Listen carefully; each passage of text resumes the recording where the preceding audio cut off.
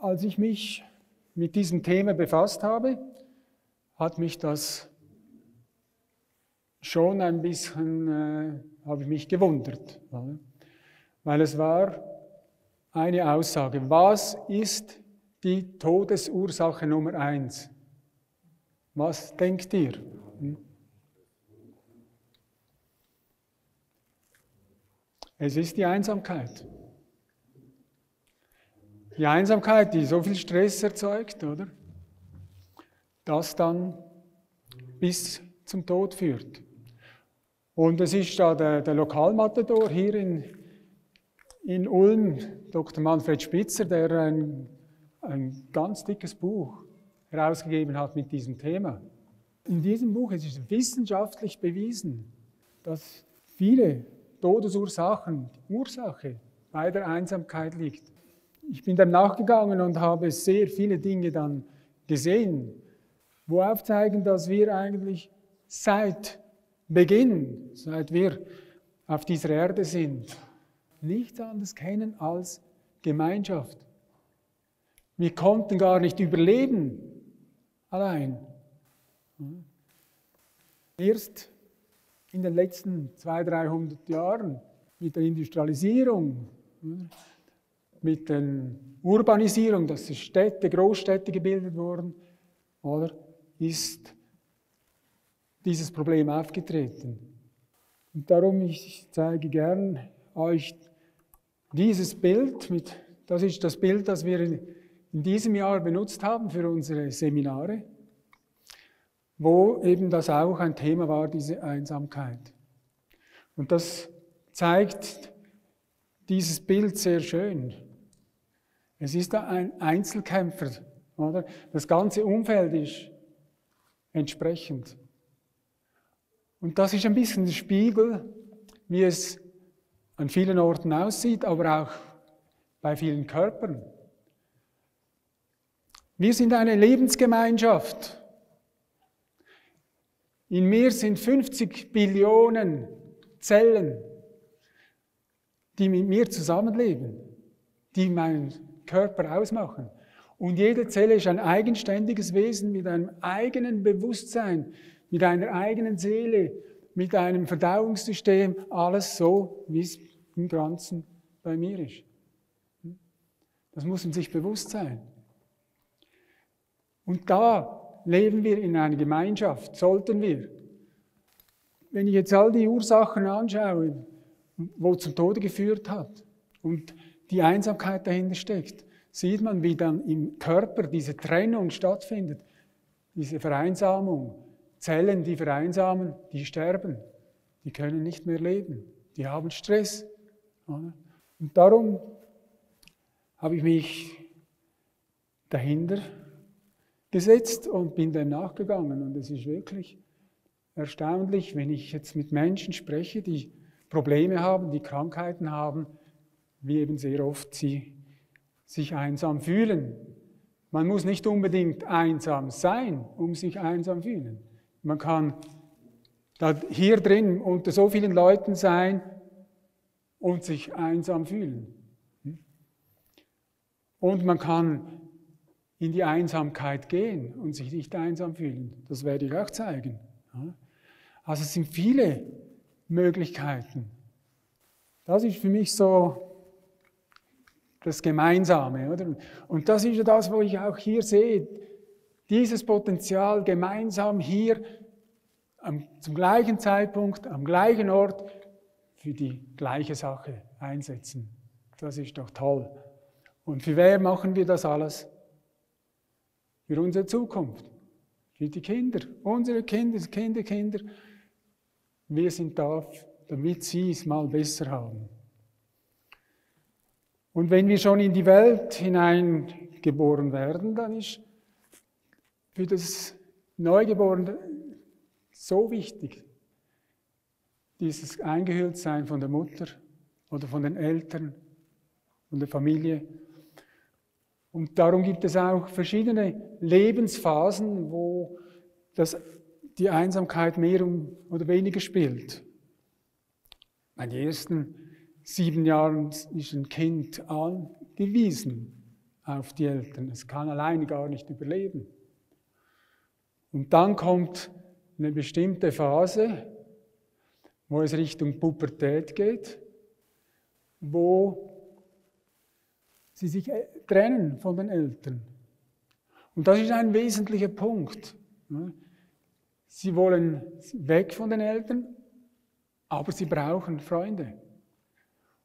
Und da habe ich schon manchmal gesehen, dass obwohl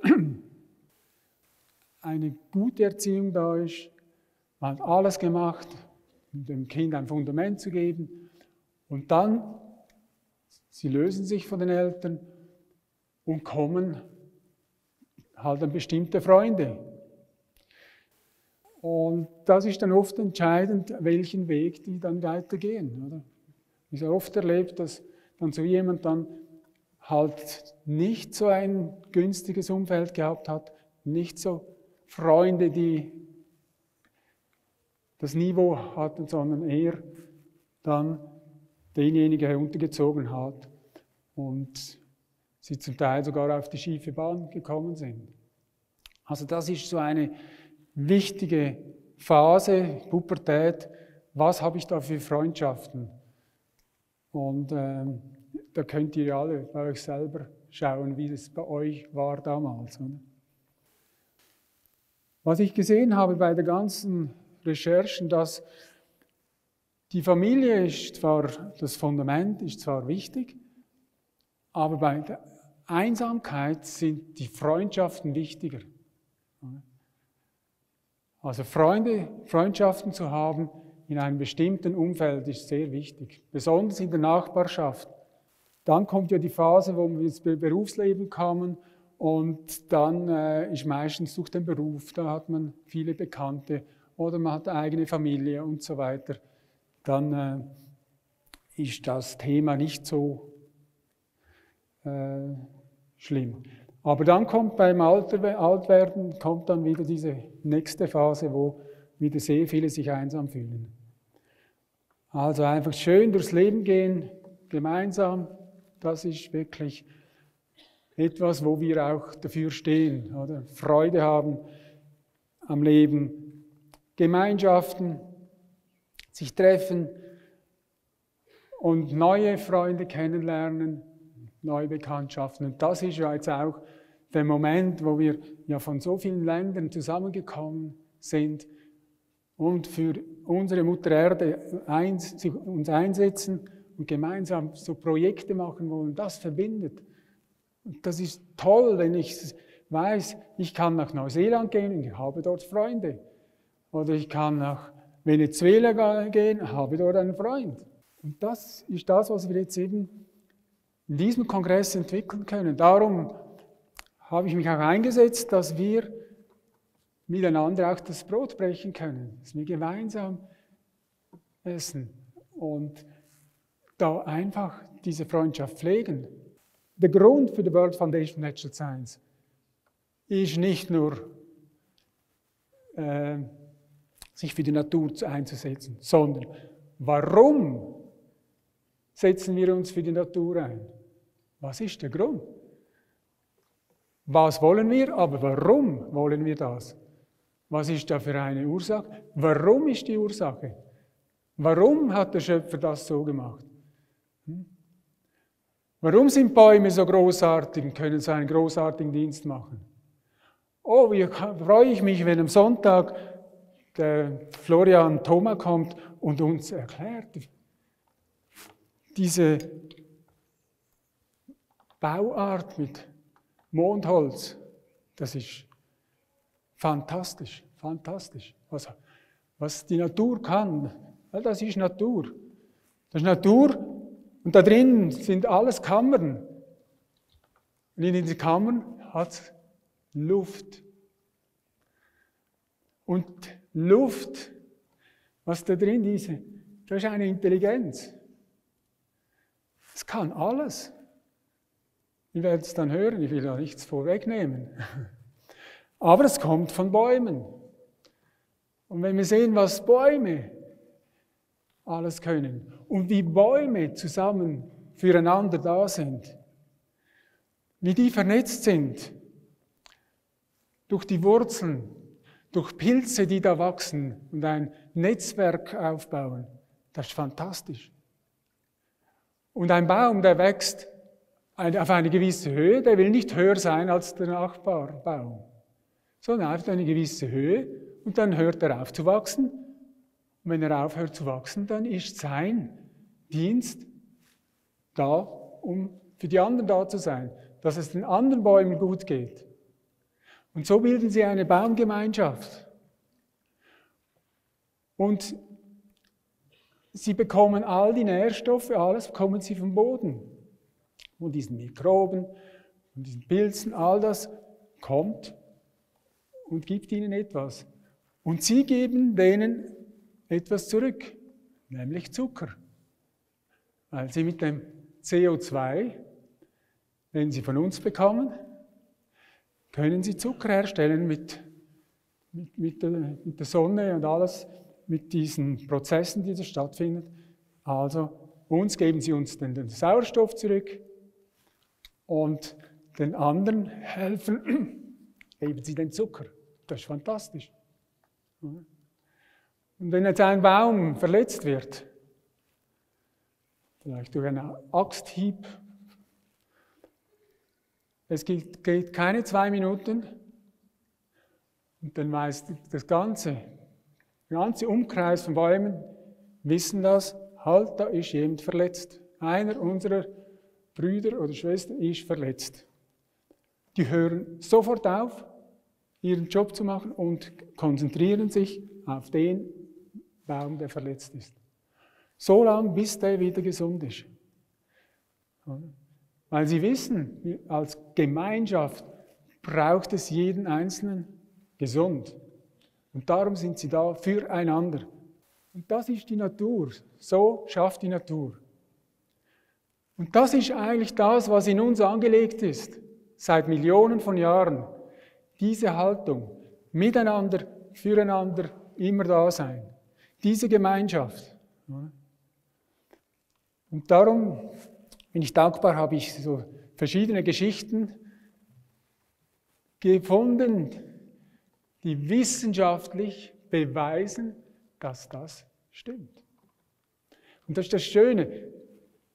Seit diese 26 Jahren, wo ich jetzt Mitglied bin, seit es der World Foundation Natural Science gibt, sind wir immer bestrebt, diese, dieses geistige Teil, der unsichtbare Teil, den Teil, den man bis jetzt nicht beweisen konnte. Nun ist die Wissenschaft so weit, dass sie es beweisen kann. Beweisen, ich sage eher nachweisen, oder? Aber dass sie uns zeigen kann, hey, das, das ist so. Und, das ist toll.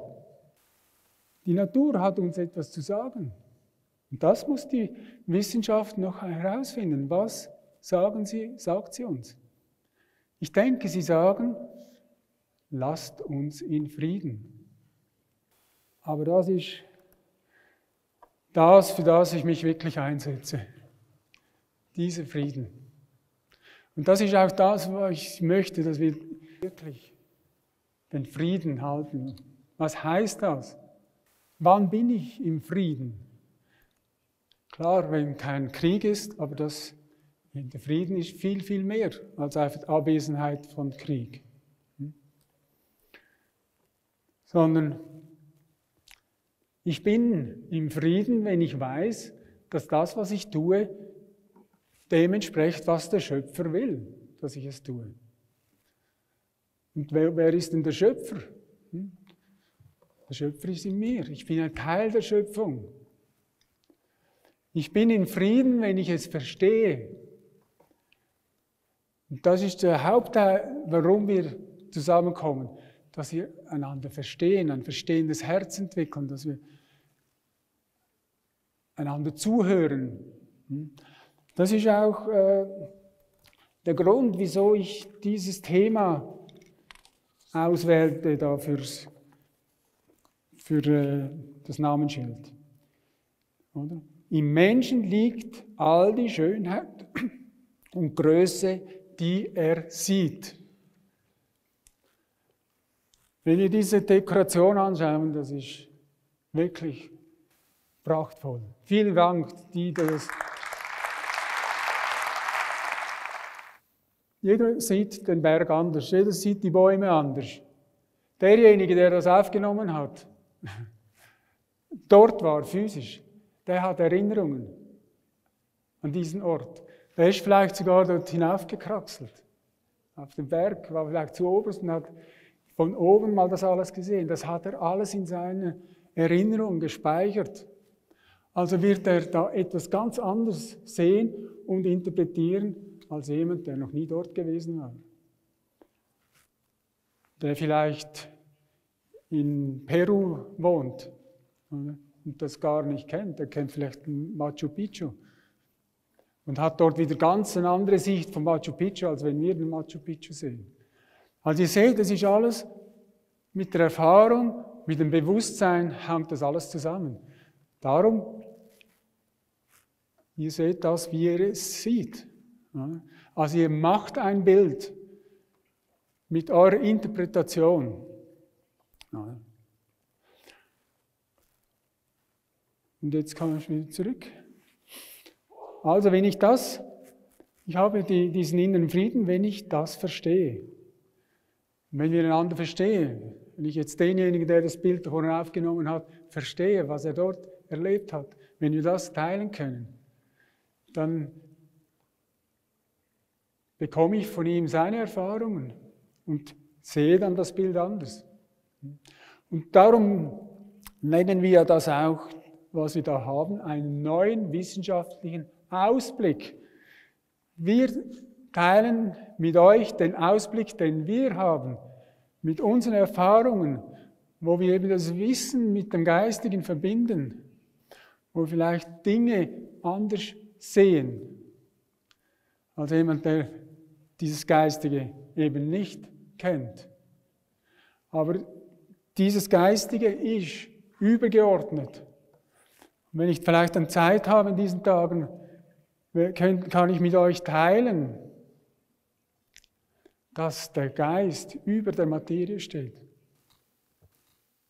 Und dass Dinge möglich sind, wo viele dran, nicht dran glauben.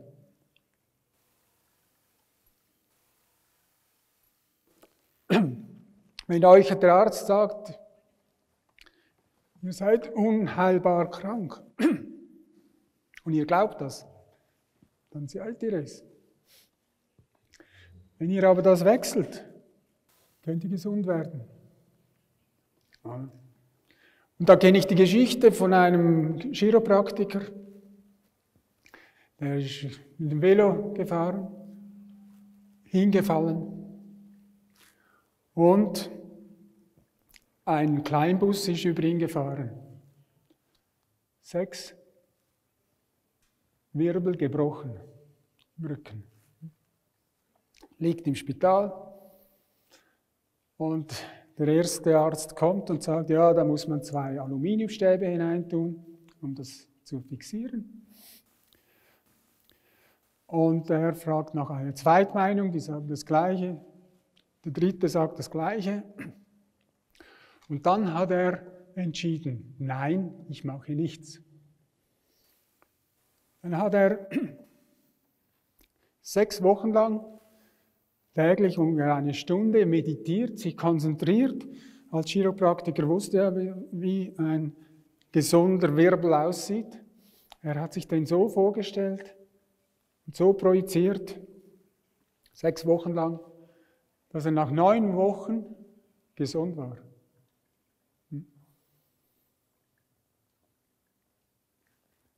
Nur durch den Geist, nur durch die Konzentration, nur durch dieses vollkommene Bild zu sehen. Und das ist etwas, was wir überall anwenden können. Darum ist wichtig, dass wir euch diesen Ausblick gehen, geben, dieses Vollkommene, dass ihr wisst, warum ist das so. Was hat sich der Schöpfer dabei gedacht? Wie sollte es sein? Und äh, wenn ich das weiß, bin ich im Frieden. Ich bin im Frieden, wenn ich weiß, es geschieht in Liebe, die Motivation stimmt. was ich tue. Es ist nicht für mich, es ist für das Ganze, es ist für die Mutter Erde, für das Größte, es ist für meine Freunde. Ich bin im Frieden, wenn ich diese Schönheit und diese Perfektion sehe. Ich bin im Frieden, wenn ich weiß, konkret, ich kann etwas tun. Das ist dieses konkrete Wissen, jawohl, ich kann das tun und das passiert. Ich kenne die Gesetze, das kann ich anwenden. Ich bin im Frieden, wenn ich weiß, es dient jemandem. Es ist nicht für mich, es ist für das Ganze. Und ich bin im Frieden, wenn ich alles, was ich tue, in einem gewissen Rhythmus, im Fluss der Natur tue. Und nicht gegen den Fluss, nicht gegen. Das ist der wahre innere Frieden. Darum äh, finde ich diese, dieses Zitat von Henry Ford eigentlich sehr schön. Zusammenkommen ist ein Beginn. Zusammenbleiben ist ein Fortschritt. Zusammenarbeiten ist ein Erfolg. Und das wollen wir. Wir wollen ja schließlich zum Erfolg kommen. Aber das braucht auch Geduld. Es ist das, was, was es ausmacht, wenn wir diese Tage miteinander begegnen. Das ist das, was die größte innere Kraft ist, was wir im Herzen haben. Und darum, wenn wir die Herzen berühren, wenn wir dann können wir einen großen Unterschied machen. Also, ich bin ein Babyboomer. Ich bin dann aufgewachsen, so, das sind so die 1946er bis 1964er. Und die leben, um zu arbeiten. Dann die Generation X, das sind die zwischen 1965 bis etwa 1976. Die arbeiten, um zu leben. Das ist ein Unterschied, oder? Das ist genau das Gegenteil. Ich habe erlebt, ich war 18 Jahre alt, als diese 68er Bestrebung da war, da die, die Jungen auf die Straße gingen, wie wir es heute zum Teil auch sehen. Oder? Und damals, die waren dann wirklich militant, die haben alles zerschlagen und, und revolutioniert und die wollten diese antiautoritäre äh, Erziehung, haben das durchgebracht. Und diese Kinder von damals, von diesen 68ern, die sind jetzt mittlerweile auch Eltern geworden. Und als Eltern können wir nur das unseren Kindern weitergeben, was wir von unseren Eltern bekommen haben. Und natürlich gewisse Dinge können wir noch dazu lernen oder ändern. Und ich weiß noch, ich war etwa 2001, 2002 in Deutschland und da hat mir ein Deutscher so eine Abhandlung gegeben, hat mir gezeigt, die, das Gebiet in Deutschland, wo es am meisten Arbeitslose gibt, gegeben hat damals, war Essen. Und dort haben uns gezeigt, wie die meisten Familien waren eine Mutter mit drei, vier Kindern von etwa zwei, drei verschiedenen Vätern. Die Mutter ging arbeiten, die Kinder waren allein zu Hause, weil die, die Väter irgendwo, weiß nicht was, gemacht haben. Auf jeden Fall, diese Kinder sind von morgen früh bis abends spät sind die vor dem Fernseher gehockt, haben sich ernährt von Bonechips oder Treats oder nichts Gescheites, oder? Und Jetzt könnt ihr euch vorstellen, die sind jetzt mittlerweile auch im Alter, wo sie eigene Kinder haben können. Also stellt euch vor, was da dann für Früchte sind, wenn die Eltern dieses Bewusstsein haben. Und das haben wir jetzt zum Teil. Wir haben halt diese Situationen. Oder? Denn die Millennials, die sind zwischen 1977 bis 1993. Und dann die Generation Z, das sind dann die, wo wir eigentlich mit dem Handy, Smartphone und so aufgewachsen sind. Und äh, ja, jetzt dann auch, wenn erwachsen sind und eigene Kinder haben werden. Die Tendenz ist extrem, dass es die Architektur sich verändert hat. In Deutschland sind die meisten Leben da in Singlewohnungen, also etwa 16 bis 17 Millionen Haushalte sind, waren 2014 Singlewohnungen und nur etwa 10.000 oder 10 Millionen sind drei plus mehr, äh, die in Wohnungen leben. Also die Tendenz ist steigend, oder? Gerade in den letzten Tagen war das in der Schweiz, oder? Die Schweiz wohnt solo. Also auch da ist die Tendenz sehr stark, dass jeder seine eigene Wohnung hat. Es zeigt auch, dass die heute viel mehr Geld verdienen, sich das leisten können und so alleine wohnen. Aber sich auch alleine unterhalten, ihr Heimkino haben und alles. Das erinnert mich ein bisschen, wo ich mal äh, früher gewohnt habe, in einem Hochhaus. Das war zwar nur 14 Stöcke, heute nicht so, aber damals war es recht hoch. Und ich habe damals einige Familien gar nie kennengelernt. Oder fast nie, vielleicht alle drei, vier Jahre mal gesehen, zufällig im Lift, aber ich wusste nicht mal ihren Namen. Und wir haben doch alle im selben Haus gewohnt. Und das zeigt schon, da irgendetwas ist da, stimmt da nicht. Oder? Bei den Kindern ist das heute ja sehr oft, dass sie gemobbt werden, dass sie sich als Außenseiter fühlen, dass sie äh, ja wirklich Stress haben und äh, Probleme.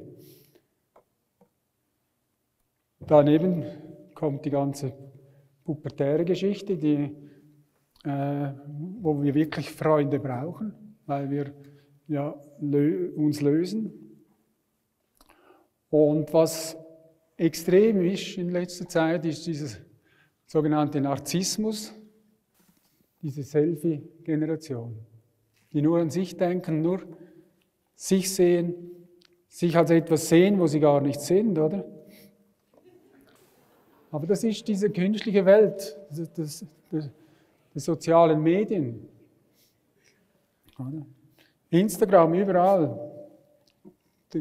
Da weiß nie, ist das jetzt ein echtes Bild oder ist das mit Photoshop, ist das verändert und, und jeder ist mit sich selber eigentlich gar nicht glücklich, so wie er aussieht.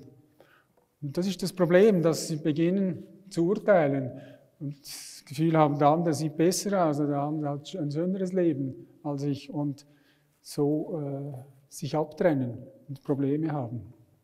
Und mehr und mehr zum Außenseiter. Und dann diese ganzen Geschichten von Depressionen und wirklich Stress. Geschweige denn im Alter, die Partnerin nicht mehr da ist, gestorben oder so, und man nicht jemand Neues hat. Oder? Viele geben zu, dass sie zu schüchtern sind, dann wieder einen Partner zu haben. Oder äh, sie sagen, ja, ich lerne zu wenig Menschen kennen. Oder äh, einfach diese Denken, meine Ansprüche an einen Partner sind zu hoch. Oder? Sie sind, haben ihre Gewohnheiten und wollen die nicht aufgeben. Oder sie sind in einer beruflichen Stellung, wo sie das nicht wollen. Aber wirklich glücklich sind sie nicht. Was auch sehr äh, auffallend ist, ist die Empathie. Eben für jemanden da sein. Das ist extrem gefallen. Diese Situation heute, wenn jemand verletzt da liegt, da können die meisten laufen da vorbei oder viele machen noch ein, ein Foto mit dem Handy und gehen vorbei und lassen den liegen. Oder wenn jemand angegriffen wird, eine Frau wird angegriffen, da hilft heute fast niemand mehr und setzt sich ein für den anderen. Dr. Spitzer hat, äh, und auch andere haben herausgefunden, dass dieses Gefühl von Einsamkeit im Hirn, diesen Punkt, dass das dort aktiviert wird. Und man hat herausgefunden, dass durch chronische Schmerzen oder überhaupt Schmerz, dass das der genau gleiche Punkt ist. Und man hat herausgefunden, dass wenn jemand Schmerzen hat und eine geliebte Person oder ein Partner oder ein Freund ihn besucht, wenn er im Krankenhaus ist oder auch zu Hause, dass die Schmerzen gelindert werden. Zwar zum Teil extrem. Und das hat mir auch dann wieder gezeigt, die, die Fälle, die ich hatte, mit Freunden, die Schmerzen hatten und ich ging und, und äh, habe ihnen, war einfach mit ihnen zusammen. Oder? Nur schon das hat sie beruhigt und die Schmerzen gingen zurück. Oder? Das Gleiche kann man auch sagen, dass wenn jemand Schmerzen hat und man gibt ihm ein Schmerzmittel, dass das Einsamkeitsgefühl auch zurückgeht. Also das ist wie miteinander verkoppelt. Darum kann man da sehr viel auch schauen, was kann ich tun? Warum sind da Schmerzen?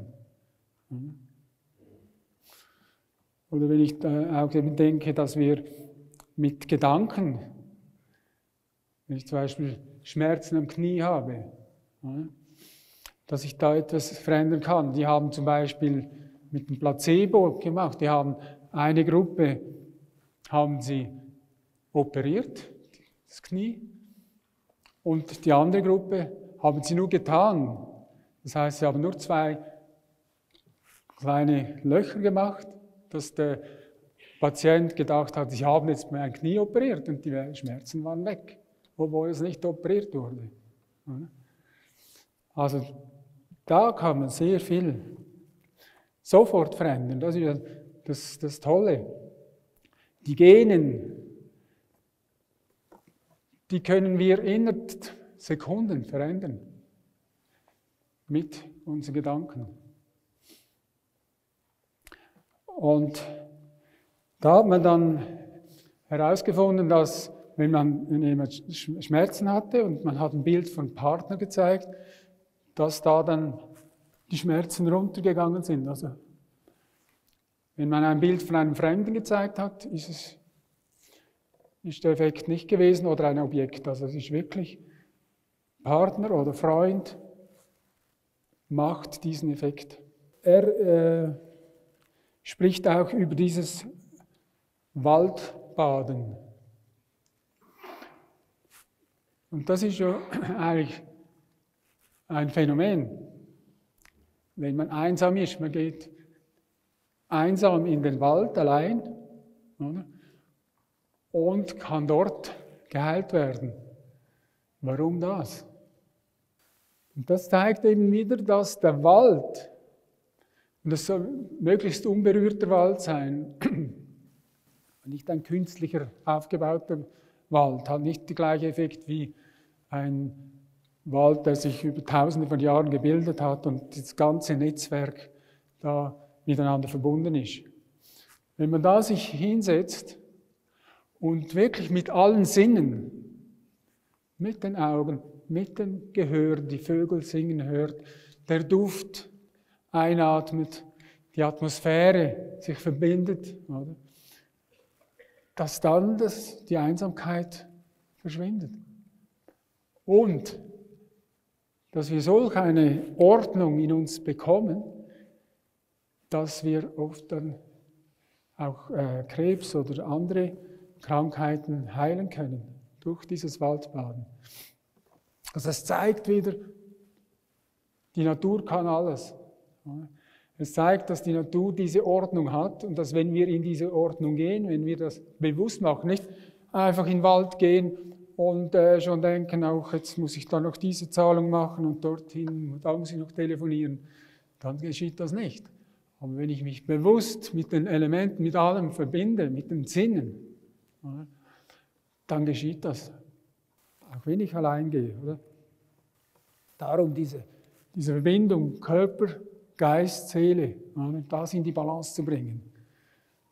Da hilft uns die Natur, weil sie das macht.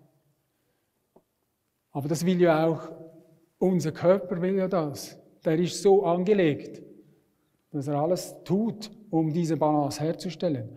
Darum, wenn wir aus der Balance sind, das wieder hinbringen, das ist Stress. Und wenn dieser Stress chronisch ist, dann haben wir Probleme, dann kommen die Krankheiten.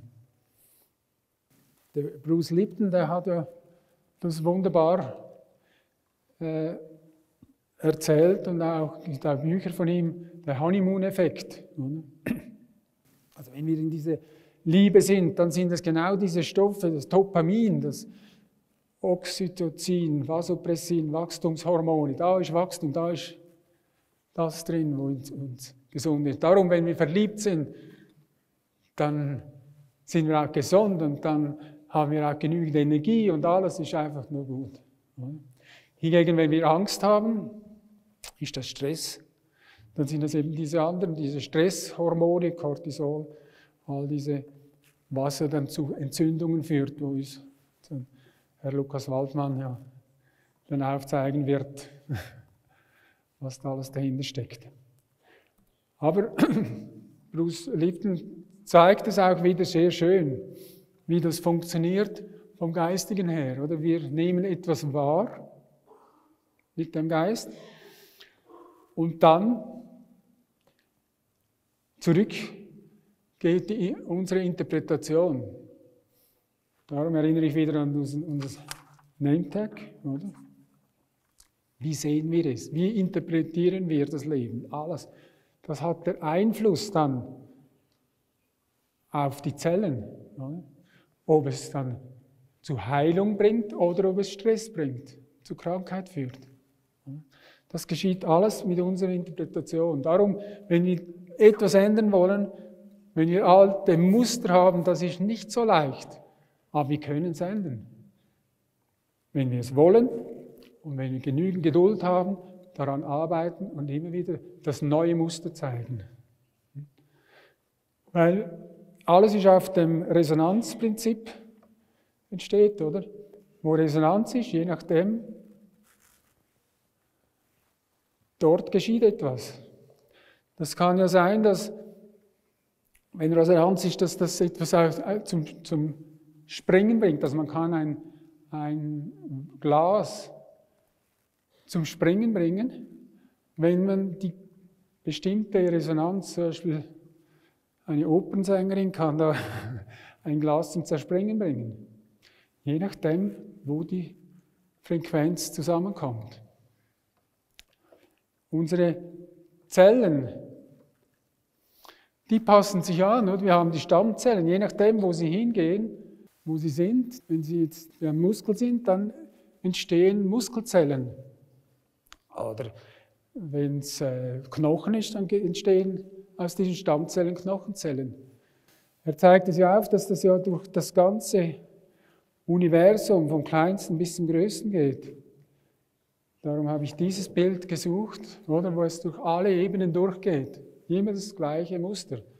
Wir haben es letztes Jahr gesehen beim Vortrag von, von Rees Rösti, der diese Fraktale gezeigt hat, wie durch alles immer das, die gleichen Muster, das geht alles durch. Jetzt möchte ich gerne mit euch eine Geschichte teilen, wo dieses ganze Thema eingebettet ist. Und zwar gibt es in Italien einen Ort, der heißt Roseto. Mit R, nicht mit G, Roseto, Roseto. In Falforte, Italien. Und dort äh, haben sie so gelebt, ganze Familien zusammen in so Zweifamilienhäuser. Und die sind dort etwa 1880 sind viele, waren arbeitslos und haben gehört von, der, von Amerika, dass dort halt das Land wäre und sind ausgewandert und haben sich dort zusammengetan als eine Gemeinschaft und haben dann da in, in, äh, in Bogonia Mountains haben sie eine ähnliche Landschaft gesehen, wie sie es heimisch gefühlt haben in Italien und haben dort auch ein Rosetto aufgebaut. Das war 1882. Und es ist dann ein, ein junger Pfarrer gekommen namens Pascale Denisco, der diese Gemeinde übernommen hat. Und er hat sie ermuntert, dass sie Getreide anbauen, dass sie Schweine halten, dass sie Weinberge anlegen, dass sie Gebetskreise gründen und dass sie diverse Festivitäten veranstalten. Und weil sie als Fremdlinge dort kamen, oder, haben sie wirklich fest miteinander eine Gemeinschaft gegründet, weil die umliegenden Orten, da waren sie nicht so beliebt. Aber sie haben das umgesetzt, sie haben dann Fabriken äh, aufgestellt. Da haben sie da die Hauptstraße, Garibaldi heißt die. Und die haben dann auch so äh, zwei Familienhäuser, also ganze Familien, die da gewohnt haben.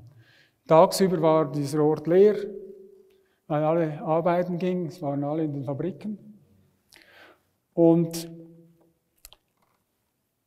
am Abend dann wenn sie von der Fabrik nach Hause gegangen sind, dann sind sie auf dem Weg, sind sie halt noch bei Freunden gesehen, Gespräche geführt, ein Glas Wein getrunken und sind dann nach Hause sich umgezogen.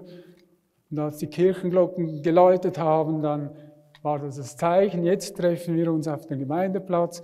Die Männer haben die, die Tische hingestellt und Stühle, die Frauen haben aus der Küche einfach das Essen mitgebracht und so haben sie jeden Abend haben sie gemeinsam gegessen und geteilt und einfach so dieses Leben geführt. Und das ging so bis äh, 1960. Ein Arzt, Dr. Stuart Wolf, hat in der Gegend dort ein Einfamilienhaus äh, gekauft als Arzt und hat dann einmal einen Vortrag gehalten und sich nachher mit anderen Ärzten von Rosette zusammengetan. Und dann hat er von ihnen vernommen, dass, dass sie eigentlich unter 65 Jahre überhaupt keine Herzkrankheiten hatten bei Männern. Nix. Und es war in dieser Zeit, als in, Amerika diese Epidemie war von Herzerkrankungen. Und das hat ihn erstaunt. Dann wollte er es wirklich wissen, hat das wissenschaftlich untersucht, warum dort auch, auch die Eltern 30, 40 Prozent weniger Erkrankungen hatten. Die meisten sind einfach altershalber dann im Frieden gestorben und konnte sich das nicht äh, erklären. Er dachte zuerst, dass es äh, genetisch sei. Dann hat er noch andere aus Rosette gefunden in anderen Teilen von, von den USA, aber die haben wie der Durchschnitt von den Amerikanern ihre Krankheiten gehabt. Also konnte es nicht an den Genen liegen. Dann hat er es gedacht, ja, das muss äh, die Ernährung sein. Olivenöl. Hm? Dann hat er da all die untersucht, was die essen, wie die kochen und so. Und da hat er gesehen, dass die gar kein Geld hatten zum Olivenöl kaufen. Also die haben Schweineschmalz, haben sie da ge genommen zum Anbraten. Und, was natürlich nicht toll ist, aber die meisten haben geraucht und waren fettleibig. Und trotzdem waren die so gesund. Bis er dann wirklich darauf kam und gesehen hat, wie die so miteinander gelebt haben. Und es gibt dann auch Aussagen so, dass die zum Beispiel Vergewaltigung und, und Neid und so gar nicht gekannt haben. Und so in einer Gemeinschaft wirklich zusammengelebt haben. Hm, immer toll. Ihr Ziel war es ja, dass ihre Kinder es einmal besser haben werden. Hm. Und dann ist kurze Zeit später ist eben das eingetroffen, dass die Jungen plötzlich mehr Geld hatten. Mehr Geld, mehr Möglichkeiten. Ja. Und dass sie zum Teil sogar dann auswärts gegangen sind und vielleicht noch eine Amerikanerin oder Amerikaner geheiratet haben. Und weil sie plötzlich mehr Geld hatten, haben sie eigenes Eigenheim gekauft, ein Einfamilienhaus mit einem eigenen Swimmingpool eingehakt, oder? Und sie nicht mehr so gemeinschaftlich unternommen haben und, und, und zusammen waren. Sie haben auch äh, die, äh, abgemacht nur noch übers Telefon. Fernseh kam. Also waren sie am Abend vor dem Fernseher und haben dann da ihre Pizza so eingenommen. Und es ging keine zehn Jahre und die hatten schon dann ihre einige Herzerkrankungen schon mit 45. Und auch die anderen Krankheiten, das ist dann 30, 40 Prozent, das dreifach, haben die dazugenommen. Und das ist schon so für mich so ein, ein, ein klassisches Beispiel, oder? wo äh, zeigt, wie, wie die, die Menschen, wenn sie äh, diesen Lebensstil annehmen, wie sie dann krank werden, wie das krank macht. Und wie das andere, das Zusammensein, zusammen äh, füreinander da sein und so, das macht glücklich. Diejenige Frau, die dieses Buch geschrieben hat, das ist auch auf dem Büchertisch. Sehr spannend, das kann ich euch nur empfehlen. Mind over Medicine. Sie äh, als Ärztin hat einfach gesehen, dass dieses nicht, das ist kein Phänomen, sondern das habe ich mich auch schon gefragt in meiner Praxis. Da hast du Leute, die schauen auf die Ernährung, die machen Sport, sind seriös, alles, rauchen nicht und wie man es empfiehlt, oder? Und trotzdem haben sie irgendein chronisches Leiden. Und dann gibt es die anderen, eben die rauchen, die schloten und fressen und gehen fremd und weiß nicht was und haben nichts. Und dann hat sie gesehen, dass, äh, dass sie umdenken muss, dass sie andere Fragen stellen muss, dass diese Tests, Labortests eigentlich ihr nicht weiter geholfen hat sondern sie hat begonnen. Ich, ich stelle zu euch ein paar solche Fragen, wenn ich das finde. Gibt es etwas, das sie daran hindert, so zu leben, wie es ihrem authentischen, vitalen Selbstausdruck entspricht? Wenn ja, was genau ist dieses etwas? Die nächste Frage. Was lieben und loben Sie an sich selbst? Was fehlt ihnen im Leben? Was schätzen Sie an Ihrem Leben? Gibt es in Ihrem Leben eine Liebesbeziehung? Wenn ja, sind Sie glücklich? Empfinden Sie Ihre Arbeit als erfüllend? Haben Sie das Gefühl, dass sie im Einklang mit Ihrer eigentlichen Lebensaufgabe steht? Erleben Sie Ihr Sexualleben als erfüllend, entweder mit Ihrem Partner oder für sich allein? Bringen Sie Ihre Kreativität zum Ausdruck? Wenn ja, wie? Empfinden Sie Ihre finanzielle Situation als solide oder ist Geld in Ihrem Leben ein Stressfaktor? Wenn eine gute Fee daherkäme und Sie hätten einen Wunsch frei, was wäre das für einer? Welche Regeln befolgen Sie, die Sie gerne brechen würden? Ihr lacht. Aber es gibt so viele Dogmen, so viele aufgelegte Regeln, oft äh, von der Kirche oder irgend so, die man gerne brechen würde, weil sie zum Teil gar keinen Sinn machen.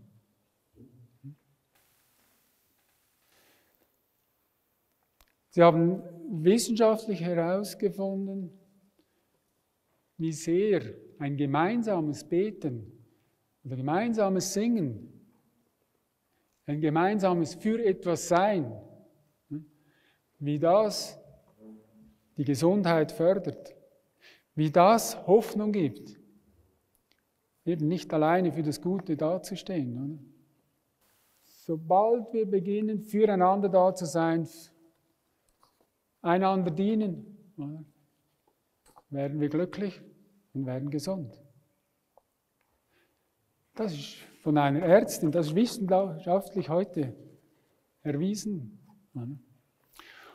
Und sie, sie war dann erstaunt, was, was plötzlich die, die Patienten für äh, Lösungen sagte, als sie fragte, was denken Sie ist die Ursache für Ihr Problem, für Ihre Krankheit? War sie erstaunt. Aber da möchte ich nicht alles durchgehen, aber dieses Buch Mind Over Medicine ist wirklich empfehlenswert. Das hat mir so auch wieder gezeigt, was für eine Kraft in uns ist, in unserem Geist. Und wie wir damit arbeiten können, praktisch. Und das ist wichtig, wir können es gerade umsetzen. Und es kann jeder, es ist einfach. Gut. Meine Zeit ist durch. Ihr habt jetzt die Möglichkeit, Fragen zu stellen.